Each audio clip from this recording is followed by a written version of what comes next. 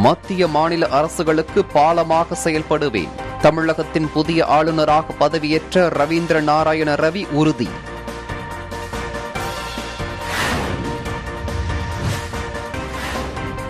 தமிழகத்தில் அடுத்த இரண்டு நாட்களுக்கு மழை தொடரும். சென்னை வானிலை மையம் தகவல்.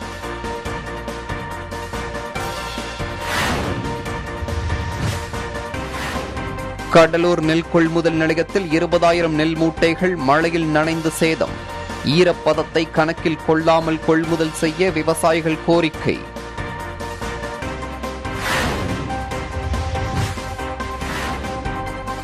கோபிச்செட்டிப்பாளையம் நெல் கொள்முதல் நிலையத்தில் இடப்பற்றாக்குறையால் விவசாயிகள் அவதி. பாதுகாப்பான இடத்துக்கு கொள்முதல் மையத்தை மாற்ற கோரிக்கை.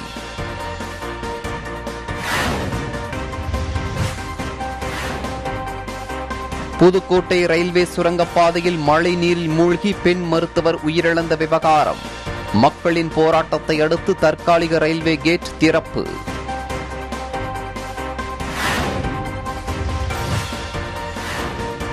சட்டவிரோதமாக இலங்கையிலிருந்து தமிழகம் வந்த பதினான்கு பேர் குறித்து தேசிய புலனாய்வு அமைப்பினர் தீவிர விசாரணை. மேலும் ஐம்பத்தி இரண்டு பேர் தமிழகத்தில் ஊடுருவி உள்ளதாக தகவல்.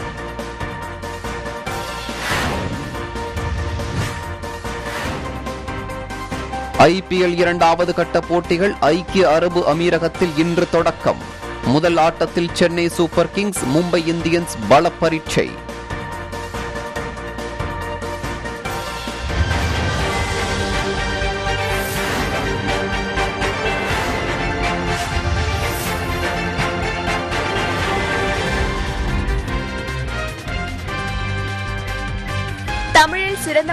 சிறந்த மொழிபெயர்ப்புக்கான சாகித்ய அகாடமி விருது ரவீந்திரநாத் தாகூரின் கோரா நாவலை மொழிபெயர்த்த கே. செல்லப்பனுக்கு அறிவிக்கப்பட்டுள்ளது.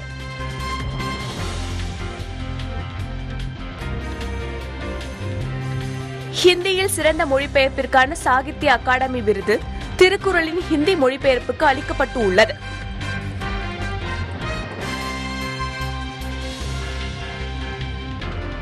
தமிழகம் முழுவதும் இன்று இரண்டாவது கட்டமாக மெகா தடுப்பூசி முகாம் நடைபெற உள்ளது.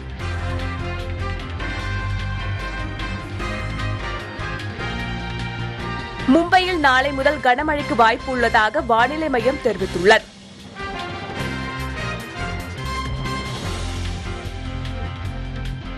வங்காள விரிகுடா கடல் பகுதியில் ஒரு புதிய காற்றழுத்த சுழற்சி உருவாகியுள்ளது.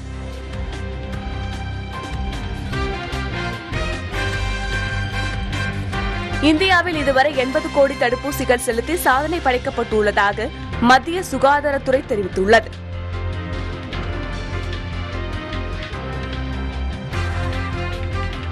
அதிகபட்சமாக எண்பத்தைந்து சதவிகித உள்நாட்டு விமானங்களை இயக்க விமான நிறுவனங்களுக்கு நேற்று முதல் அனுமதி அளிக்கப்பட்டுள்ளது.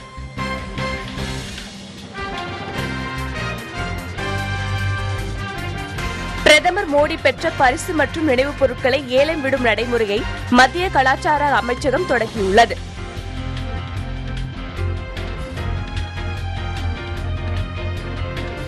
பஞ்சாப் காங்கிரஸ் அரசின் முதல்வர் அமரேந்திர சிங் தன் பதவியை ராஜினாமா செய்வதாக அம்மாநில ஆளுநர் பன்வாரிலால் புரோஹித்திடம் சமர்ப்பித்துள்ளார்.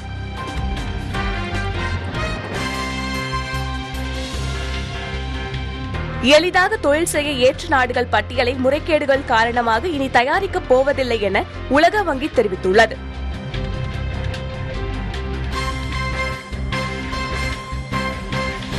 கடைசி நேரத்தில் கிரிக்கெட் போட்டியை நியூசிலாந்து ரத்து செய்திருப்பது பாகிஸ்தான் கிரிக்கெட்டுக்கு ஏற்பட்ட அவமானம் என இங்கிலாந்து அணியின் முன்னாள் கேப்டன் மைக்கேல் வான் தெரிவித்துள்ளார்.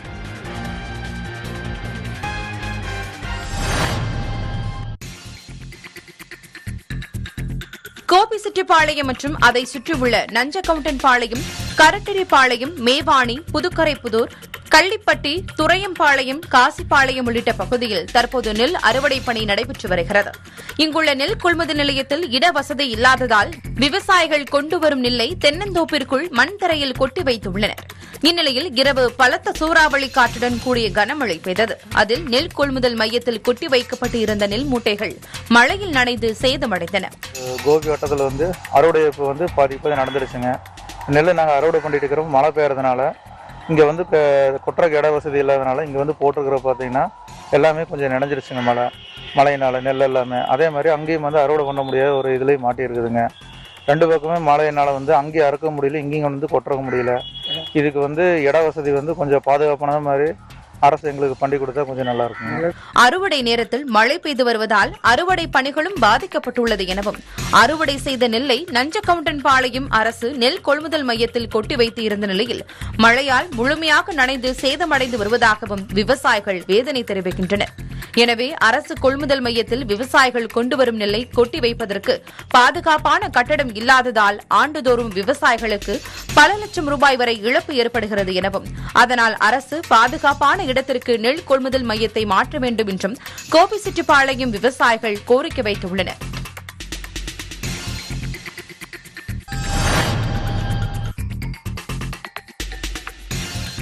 தமிழகத்தின் புதிய ஆளுநராக ரவீந்திர நாராயண ரவி என்ற ஆர் என் ரவி நேற்று பதவியேற்றுக் கொண்டார். பதவியேற்ற பின்பு அவர் ஆளுநர் மாளிகையில் செய்தியாளர்களிடம் பேசினார். அப்போது தமிழக ஆளுநராக பொறுப்பேற்றுள்ளது பெருமை அளிக்கிறது தமிழக கலாச்சாரம் உலகில் மிகவும் பழமையான கலாச்சாரமாகும். இங்கு ஆளுநராக செயல்படுவது மிகுந்த மகிழ்ச்சி அளிக்கிறது என தெரிவித்தார். பழமை வாய்ந்த தமிழ் மொழி மீது மிகுந்த ஆர்வத்துடன் இருப்பதாகவும் தமிழ் மொழியை கற்றுக்கொள்ள முயற்சி செய்வேன் எனவும் தெரிவித்தார்.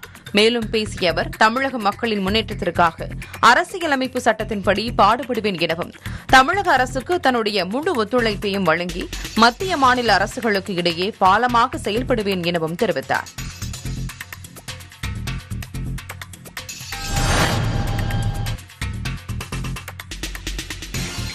கடலூர் மாவட்டம் சேத்தியாத்தோப்பை அடுத்த வளையமாதேவி கிராமத்தில் நேரடி நெல் கொள்முதல் நிலையம் குறுவைப்பட்ட விவசாயிகளின் நெல் கொள்முதல் செய்ய திறக்கப்பட்டு கொள்முதல் செய்யப்பட்டு வருகிறது.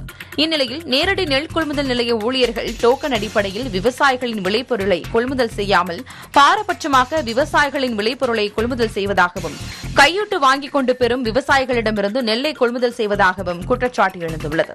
கஷ்டப்பட்டு விவசாயத்துக்கு அங்க போய் டிஎன்சியில் போய் நெல் போட போனால் சாக்கு இல்லைன்னு சொல்கிறாங்க இதனால் நான் ஏகப்பட்ட பாதிப்பு மன உணர்ச்சி அதிகமாகி எனக்கு ரொம்ப நஷ்டத்தை வச்சு ஒரு நாளைக்கு பத்து ஆட்களை வச்சு நான் வேலையை வாங்கி என்னால் முடியாத காரணத்தினால் நான் என்ன செய்வதுன்னே எனக்குமே ஒன்றுமே புரியவில்லை. இதனால் கடந்த மூன்று நாட்களாக மழை விட்டுவிட்டு பொழிவதால் விவசாயிகளின் விளைபொருட்கள் மழையில் நனைந்து சேதமடைந்து வருகின்றன.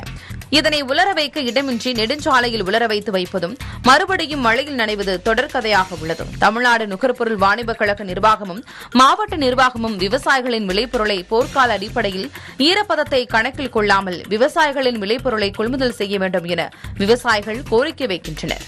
மூணு நாளாக பூட்டி வச்சிருக்காங்க மூணு நாள் தொடர்ந்து மழை பெய்யுது. தண்ணி ஓடத்துக்கும் வழி கிடையாது. நெல் காய வெட்டி காய வைக்கிறதுக்கும் வழி கிடையாது. அந்த கவர்மெண்ட் ஆஃபீஸர் எதுவுமே கண்டுக்க மாட்டேங்கிறாரு. இங்கே இருக்கிற பிசின்றவர் இப்போ இது வரைக்குமே நான் ஆஃபீஸ் திறக்கல. இவ கேட்டால் வருவாங்க வருவாங்க அப்படின்ற மாதிரி சொல்லிட்டு மூணு நாளாக இந்த மழையில் நாங்கள் ஃபுல்லாக நெல்லெல்லாம் பாருங்கள் அவ்வளோ நினைஞ்சு போய் கிடக்கு எல்லா நெல்லுமே. இதுக்கு கவர்மெண்ட்டில் தான் ஏதாவது ஒரு வழி கொண்டு வரணும்.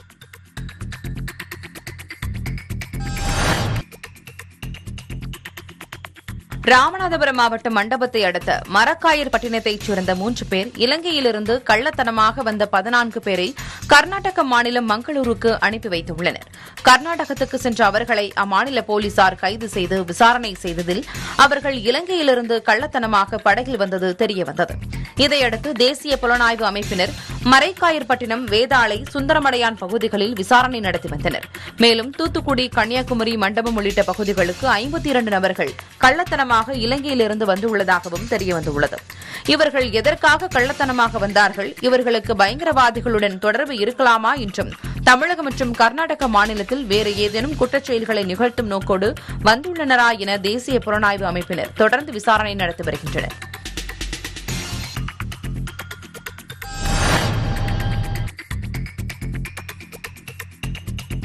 தேனி மாவட்டத்தில் வெயிலின் தாக்கம் அதிகரித்து வெப்பம் வாட்டி வதைத்து வந்த நிலையில் சாரலாக மழை பெய்தது. தேனி மற்றும் அதன் சுற்றுவட்டார பகுதிகளான தேனி அல்லிநகரம் அன்னஞ்சி பொம்மை நாயக்கன்பட்டி கருமீர நாயக்கன்பட்டி அரண்மனைப்புத்தூர் உள்ளிட்ட பல்வேறு இடங்களில் இடைவிடாத சாரல் மழை பெய்தது. இதனால் வெப்பம் தணிந்து குளிர்ச்சியான சூழல் நிலவியது. தங்களுக்கு மகிழ்ச்சி அளித்திருப்பதாக பொதுமக்கள் மற்றும் விவசாயிகள் தெரிவித்துள்ளனர்.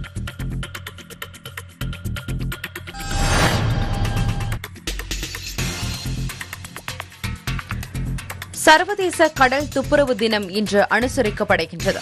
இந்நிலையில் புதுச்சேரி தேங்காய் திட்டு மீன்பிடி துறைமுக கடல் முகத்துவார பகுதிகளில் உள்ள குப்பைகளை பாய்மர படகு மூலம் சென்று சேகரிக்க ஏற்பாடு செய்தது. இதற்காக புதுச்சேரி சென்னை கேரளா ஆகிய மாநிலங்களில் உள்ள பாய்மர படகு சங்கங்களைச் சேர்ந்த பனிரண்டு பாய்மர படகுகளில் வந்த வீரர்கள் கடலில் மிதக்கும் பிளாஸ்டிக் உள்ளிட்ட கழிவுப் பொருட்களை சேகரித்தனர். பாய்மர படகு பயன்பாடு இதை கற்றுக்கொண்டு தேசிய மற்றும் சர்வதேச போட்டிகளில் கலந்து கொள்ள வேண்டும் என்ற விழிப்புணர்வை ஏற்படுத்துவதற்காகவும் இந்நிகழ்ச்சிக்கு ஏற்பாடு செய்யப்பட்டது.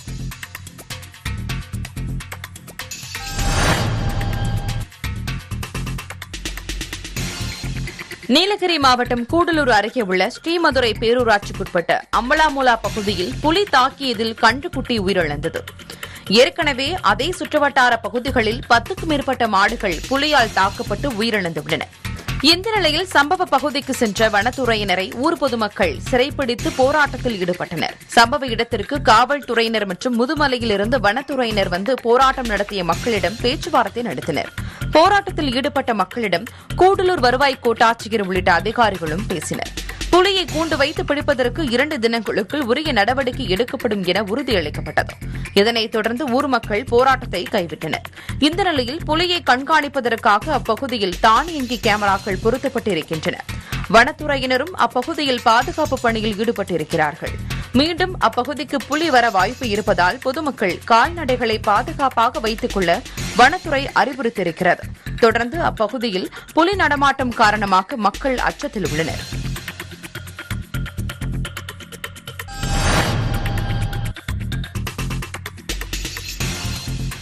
திருப்போரூர் கந்தசுவாமி கோவில் மற்றும் ஆளவந்தார் அறக்கட்டளைக்கு சொந்தமான நிலங்களில் உள்ள ஆக்கிரமிப்புகளை அகற்றி நிலத்தை மீட்க வேண்டும் என சென்னை உயர்நீதிமன்றத்தில் வழக்கு தொடரப்பட்டது. இதில் நடவடிக்கை எடுக்க நீதிமன்றம் உத்தரவிட்டதை அடுத்து அளவீடு பணிகளை மேற்கொண்டதில் திருப்போரூர் கிராம பகுதியில் முப்பத்தி ஏழு சர்வே எண்களில் நாற்பத்தி நான்கு புள்ளி ஏழு ஐந்து ஏக்கர் நிலங்கள் பல்வேறு நபர்களால் ஆக்கிரமிக்கப்பட்டிருப்பது தெரியவந்தது. தற்போது நிலம் மீட்கப்பட்டு கந்தசுவாமி கோவிலுக்கு சொந்தமான நிலம் என்ற அறிவிப்பு வாசகம் கொண்ட பலகை வைக்கப்பட்டுள்ளது. மீட்கப்பட்ட நிலத்தின் மதிப்பு ரூபாய் நூற்றி எண்பது கோடி என கோயில் நிர்வாகம் தெரிவித்தது.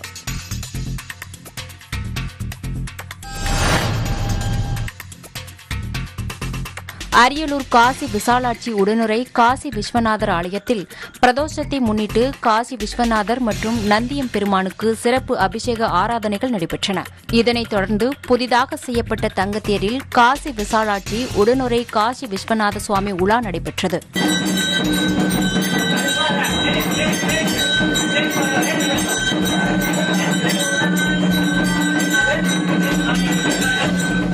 மயிலாடுதுறை மாவட்டம் மயிலாடுதுறையில் காவிரி ஆற்றின் நடுவே நந்திக்கு என்று தனி சன்னதி அமைந்துள்ளது. அங்கு நந்தியம்பெருமாள் நீராடியதாக ஐதீகம் உண்டு.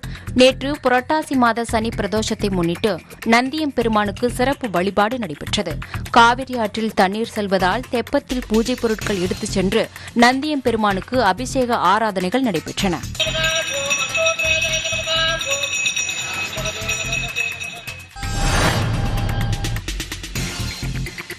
சேலம் மாவட்டம் மேட்டூரிலிருந்து காடையாம்பட்டி வரையிலான கிராமங்களுக்கு குடிநீர் வழங்குவதற்காக காடையாம்பட்டி கூட்டு குடிநீர் திட்டம் செயல்படுத்தப்பட்டு வருகிறது. இந்நிலையில் மேட்டூர் அனல் மின் நிலையம் அருகே தேசிய நெடுஞ்சாலை ஓரமாக செல்லும் காடையாம்பட்டி கூட்டு குடிநீர் திட்ட குழாயில் உடைப்பு ஏற்பட்டு பதினைந்து அடி உயரத்திற்கு நீர் சீறி பாய்ந்தது. இதனால் போக்குவரத்து பாதிக்கப்பட்டதோடு லட்சக்கணக்கான லிட்டர் சுத்திகரிக்கப்பட்ட குடிநீர் ஆறாக பெருக்கெடுத்து ஓடியது. இதனால் வாகன ஓட்டிகள் மிகுந்த சிரமத்திற்கு ஆளானார்கள்.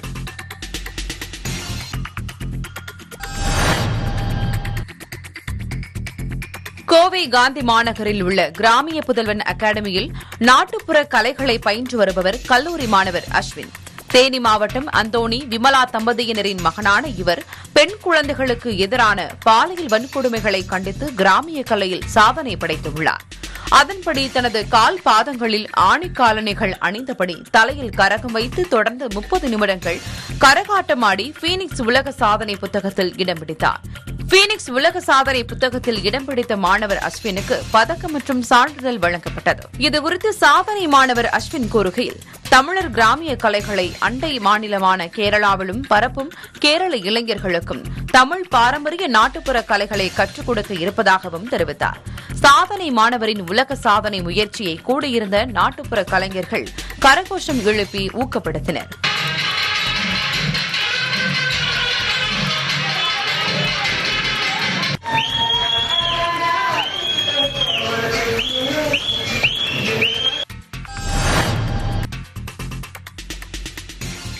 புதுக்கோட்டை மாவட்டம் துடையூரை கிராமத்தைச் சேர்ந்த அரசு பெண் மகப்பேறு மருத்துவர் சத்யா தனது மாமியாருடன் காரில் வீட்டிற்கு சென்று கொண்டிருந்த போது துடையூர் கிராமத்தில் உள்ள ரயில்வே சுரங்கப்பாதையில் தேங்கி இருந்த மழை நீரில் சிக்கி உயிரிழந்தார்.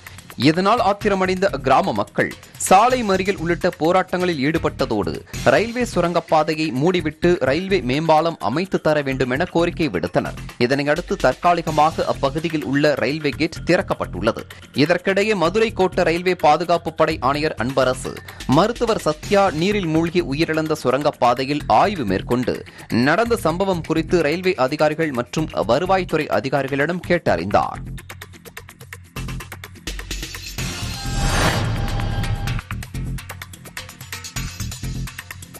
தமிழக அரசின் நல்லாசிரியர் விருது பெற்ற வேதாரண்யத்தைச் சேர்ந்த ஆசிரியர் நாகராஜனுக்கு முன்னாள் மாணவர்கள் சார்பில் பாராட்டு விழா நடைபெற்றது. வேதாரண்யம் அரசு ஆண்கள் மேல்நிலைப் பள்ளியில் கடந்த முப்பத்தி எட்டு ஆண்டுகளாக இயந்திரவியல் தொழிற்கல்வி ஆசிரியராக நாகராஜன் பணியாற்றி வருகிறார்.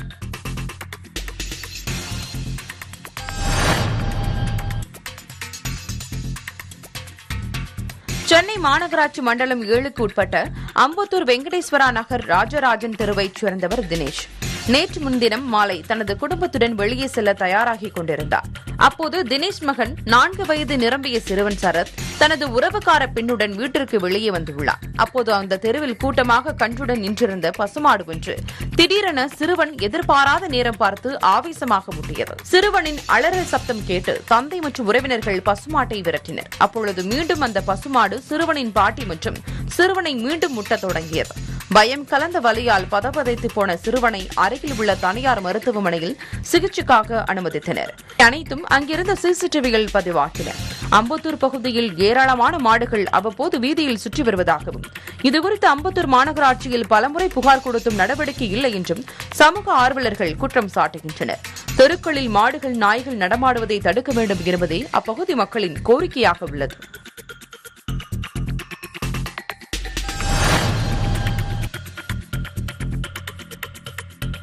பழனி உடுமலை சாலையில் உள்ள ஆ கலையம்புத்தூர் கிராமத்தில் மாட்டுத் தீவனம் தயாரிக்கும் தனியார் ஆலை செயல்பட்டு வருகிறது. இந்த ஆலையில் இரவு நேரத்தில் காவலாளிகள் வெளியே படுத்திருந்த நிலையில் ஆலைக்குள் புகுந்த நபர் ஒருவர் திருட முயற்சி செய்துள்ளார். ஆலையில் பணம் எதுவும் இல்லாத நிலையில் ஏமாற்றமடைந்த நபர் மாட்டுத் தீவன மூட்டைகளை திருட முயற்சி செய்துள்ளார். சத்தம் கேட்டு காவலாளி விழித்துக் கொண்டதால் மூட்டைகளை போட்டுவிட்டு தப்பி ஓடியுள்ளார். இந்த காட்சிகள் அனைத்தும் ஆலையில் பொருத்தப்பட்டுள்ள சிசிடிவியில் பதிவாகியுள்ளது. சிசிடிவியில் பதிவான காட்சிகளை வைத்து வழக்கு பதிவு செய்த போலீசார் விசாரணை நடத்தி வருகின்றனர்.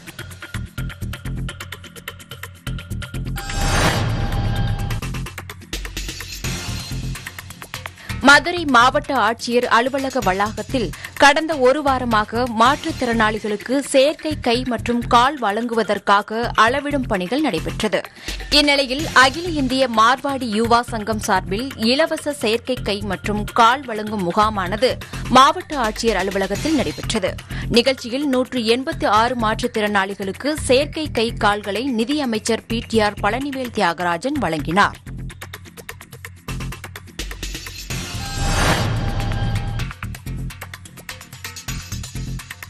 ஈரோடு மாவட்டம் புஞ்சை புளியம்பட்டி கோவில் புதூரில் உள்ள பழமை வாய்ந்த கரிவரதராஜ பெருமாள் கோவிலில் கொரோனா பரவலை தடுக்கும் வகையில் புரட்டாசி சனிக்கிழமைகளில் பக்தர்கள் சுவாமி தரிசனம் செய்ய தடை விதிக்கப்பட்டுள்ளது. அதே சமயம் கோவிலில் புரட்டாசி சனிக்கிழமைகளில் பெருமாளுக்கு ஆகம விதிப்படி நான்கு கால சிறப்பு பூஜைகள் நடத்த ஏற்பாடு செய்யப்பட்டுள்ளது. மேலும் கோவிலில் சிறப்பு பூஜைகள் நடந்தாலும் பக்தர்களுக்கு அனுமதி இல்லை எனவும் பக்தர்கள் கோவிலுக்கு வருவதை தவிர்க்க வேண்டும் எனவும் தெரிவிக்கப்பட்டுள்ளது.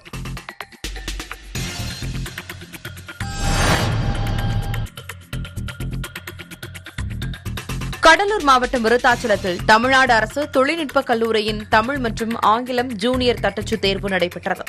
தேர்விற்கு விருத்தாச்சலம் பெண்ணாடம் கருவேப்பிலங்குறிச்சி உள்ளிட்ட பகுதிகளில் இருந்து எழுநூற்று எண்பது மாணவர்கள் விண்ணப்பித்திருந்த நிலையில் நானூற்று நாற்பத்தி ஒரு பேர் கலந்து கொண்டு தேர்வு எழுதினர்.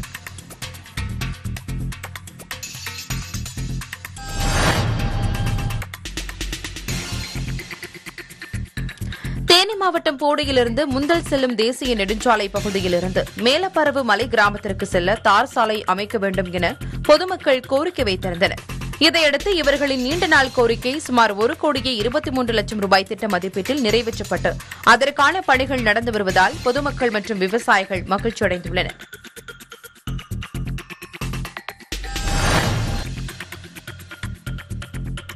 திருப்பூர் மாவட்டம் அவினாசி தாலுகா அலுவலகம் எதிரே பஹீம் ரஹ்மான் என்பவர் செல்போன் கடை நடத்தி வருகிறார்.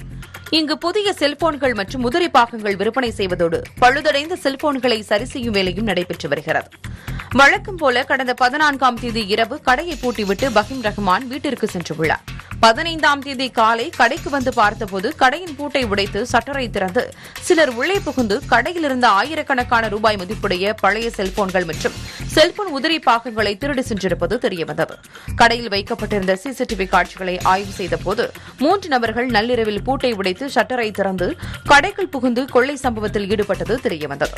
இதனையடுத்து சிசிடிவி காட்சிகளுடன் பஹீம் ரஹ்மான் அவினாசி காவல் நிலையத்தில் புகார் அளித்துள்ளார். இந்த திருட்டு சம்பவம் குறித்து அவினாசி போலீசார் வழக்கு பதிவு செய்து விசாரணை மேற்கொண்டு வருகின்றனர். இந்நிலையில் மூன்று மர்ம நபர்கள் செல்போன் இந்நிலையில் மூன்று அடையாளம் தெரியாத நபர்கள் செல்போன் கடை பூட்டை உடைத்து உள்ளே புகுந்து கொள்ளை சம்பவத்தில் ஈடுபடும் சிசிடிவி காட்சிகள் தற்போது சமூக வலைதளங்களில் வைரலாக பரவி வருகிறது.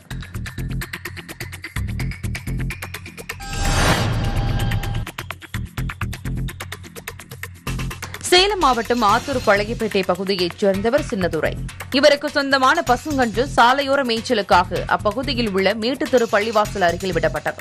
இந்நிலையில் சாலை ஓரத்தில் உள்ள கழிவுநீர் கால்வாயில் மேய்ச்சலுக்காக விடப்பட்ட பசுங்கன்று தவறி விழுந்தது. அதையடுத்து அவ்வழியே சென்ற பொதுமக்கள் பசுக்கன்றின் சப்தத்தை கேட்டு காப்பாற்ற முயன்றனர். ஆனால் சாக்கடை மற்றும் முட்பகுதி அதிகம் இருந்ததால் அவர்களால் இறங்க முடியவில்லை. இதுகுறித்து அப்பகுதியில் இருந்த பொதுமக்கள் ஆத்தூர் தீயணைப்பு நிலையத்திற்கு தகவல் தெரிவித்தனர். இதையடுத்து விரைந்து வந்த தீயணைப்பு நிலைய வீரர்கள் கயிறு மூலம் இறங்கி பசுங்கன்றை உயிருடன் மீட்டனர். மேலும் மீட்கப்பட்ட பசுங்கன்றின் காலில் காயம் ஏற்பட்டிருந்ததால் கால்நடை மருத்துவமனைக்கு அனுப்பி வைத்தனர்.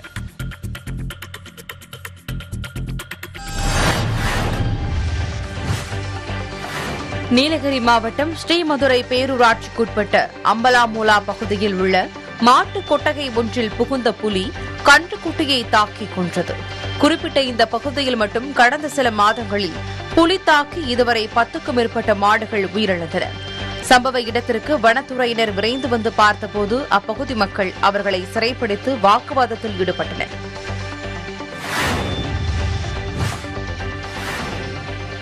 கிருஷ்ணகிரி மாவட்டம் சூளகிரி ஒன்றியம் பெரிய சிகரளப்பள்ளி பஞ்சாயத்திற்குட்பட்ட பகுதியில் வசிக்கும் திம்மப்பா தனக்கு சொந்த நிலத்தில் குட்டை அமைத்து மீன்களை வளர்த்து வந்தார். இந்நிலையில் குட்டையில் உள்ள மீன்கள் அனைத்தும் செத்து வந்துள்ளன யாரேனும் வளர்ப்பு மீன் குட்டையில் விஷம் கலந்திருக்கக்கூடும் என தெரிகிறது. இந்த சம்பவம் குறித்து சூளகிரி போலீசார் விசாரணை மேற்கொண்டுள்ளனர்.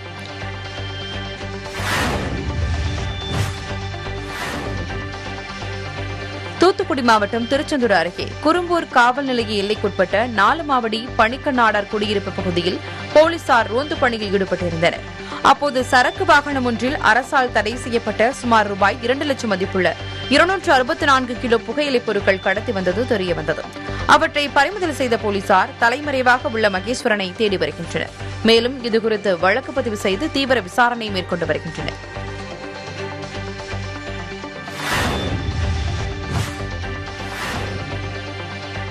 சென்னை சேலையூரில் இயங்கி வரும் காரைக்குடி பிரியாணி பிரதர்ஸ் உணவகத்தில் காஞ்சிபுரம் உணவு பாதுகாப்பு அதிகாரிகள் அதிரடியாக சோதனை நடத்தினர்.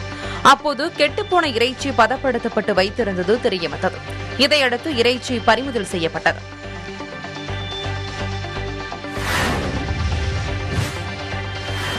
நீலகிரி மாவட்டம் கோத்தகிரியில் உள்ள நேரு பூங்கா தற்போது பராமரிக்கப்படாமல் சுற்றுப்புற சுவர்கள் இடிந்து காணப்படுகிறது. இதனால் பூங்கா கால்நடைகளின் மேய்ச்சல் நிலமாகவும் சமூக விரோதிகளின் கூடாரமாக மாறுவதும் பொதுமக்களிடையே அதிருப்தியை ஏற்படுத்தியுள்ளது. எனவே இதனை சீரமைக்க கோரிக்கை எழுந்துள்ளது.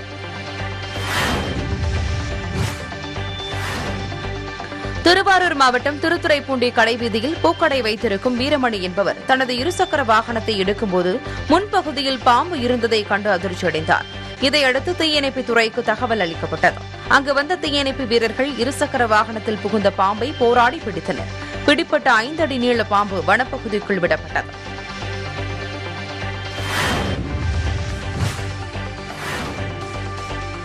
சென்னை தாம்பரம் அடுத்த கலைஞர் நெடுஞ்சாலை பீர்க்கன்காரணையில் உள்ள கணினி விற்பனை மற்றும் சர்வீஸ் கடையின் பூட்டை உடைத்து இரண்டாயிரம் ரூபாய் பணம் ஒரு லட்சத்து நாற்பதாயிரம் மதிப்பிலான இரண்டு லேப்டாப் இரண்டு செல்போன் கம்ப்யூட்டர் உதிரி பாகங்கள் என நான்கு லட்சம் ரூபாய் மதிப்பிலான பொருட்களை அடையாளம் தெரியாத நபர்கள் கொள்ளையடித்து சென்றுள்ளனர். இதுகுறித்து கடை உரிமையாளர் மதன்குமார் அளித்த புகாரின் பேரில் போலீசார் விசாரித்து வருகின்றனர்.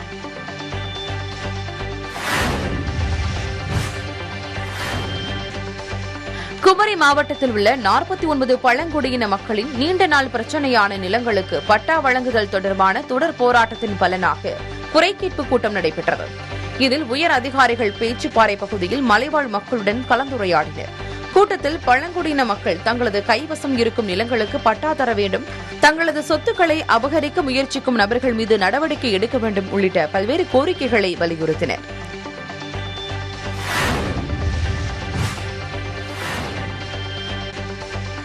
புதுக்கோட்டை மாவட்டம் பொன் புதுப்பட்டி ரோட்டரி சங்கம் மற்றும் துர்கா மருத்துவமனையின் சார்பாக கொரோனா தடுப்பூசியை பொதுமக்கள் அனைவரும் போட்டுக்கொள்ள வேண்டும் என வலியுறுத்தி விழிப்புணர்வு பேரணி நடைபெற்றது. பேரணியில் செவிலியர்கள் கையில் பதாகைகள் ஏந்தி துண்டு பிரசுரங்களை விநியோகித்து விழிப்புணர்வு ஏற்படுத்தினர்.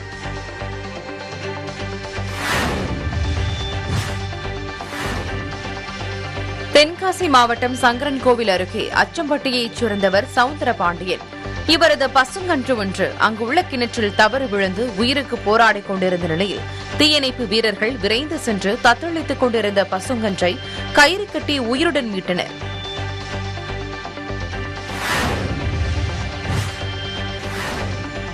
கள்ளக்குறிச்சி மாவட்டம் சங்கராபுரம் திருவண்ணாமலை குளத்தூர் பிரிவு சாலை பகுதியில் தனி வட்டாட்சியர் ராஜலட்சுமி தலைமையில் தேர்தல் பறக்கும் படை அதிகாரிகள் தீவிர வாகன சோதனையில் ஈடுபட்டிருந்தனர். அப்போது அவ்வழியாக வந்த அரியலூர் கிராமத்தைச் சேர்ந்த பாலமுருகன் என்பவரின் இருசக்கர வாகனத்தை நிறுத்தி சோதனை செய்தனர். அதில் கணக்கில் வராத சுமார் ஐம்பத்தெட்டு ஆயிரம் ரூபாய் பணம் இருந்ததை அடுத்து அவை பறிமுதல் செய்து ஒன்றிய தேர்தல் நடத்தும் அலுவலர் ரத்தின மாலாவிடம் ஒப்படைத்தனர்.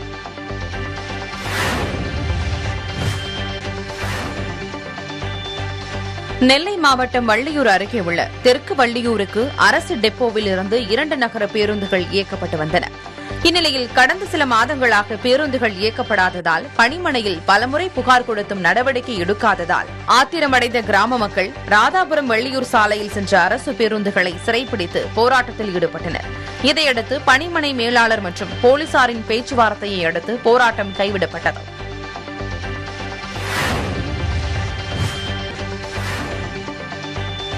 வடகிழக்கு பருவமழை காலம் துவங்க உள்ள நிலையில் தேனி மாவட்டத்தில் உள்ள நீர்நிலைகளில் செய்யப்பட வேண்டிய முன்னெச்சரிக்கை மற்றும் பாதுகாப்பு ஏற்பாடுகள் குறித்த ஆலோசனைக் கூட்டம் மாவட்ட ஆட்சியர் கே வி முரளிதரன் தலைமையில் நடைபெற்றது.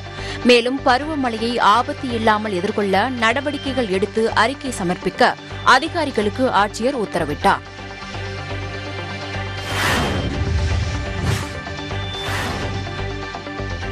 சிவகங்கை மாவட்டம் இளையான்குடியில் வட்டார சட்ட பணிகள் குழு சார்பில் உள்ளாட்சி அமைப்புகள் காவல்துறை உணவு பாதுகாப்பு நலன் மற்றும் கல்வித்துறை ஆகியோர் இணைந்து புகையிலை கட்டுப்பாடு நடைமுறைகள் குறித்து விழிப்புணர்வு பயிற்சி நடத்தினர். முகாமில் புகையிலை தடுப்புரை மற்றும் சட்ட அணுகுமுறைகள் குறித்து விளக்கப்பட்டன.